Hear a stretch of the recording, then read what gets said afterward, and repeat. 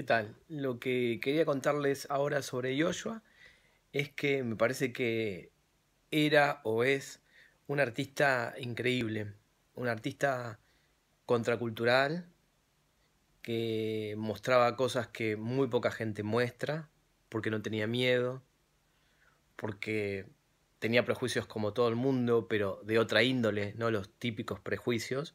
O sea, todos tenemos prejuicios, pero él eh, se posicionaba desde otro lugar, no con, los típicos prejuicios. y, y, me parece que eh, era sumamente creativo, muy, muy ocurrente, creaba algo realmente nuevo, ¿no?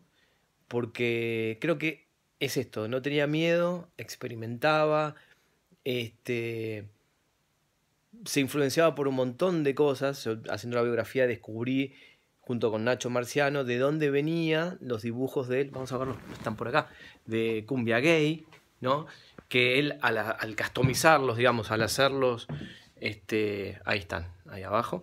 Al hacerlos del conurbano, de Buenos Aires, etc., tiene su propia impronta, ¿no? Esos son originales de Joshua.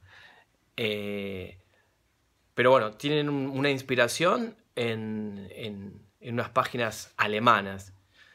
Porque se permitía explorar y explorar más allá de, lo convencional. Parece que esto es importante y que no hay que dejarlo pasar, ¿no?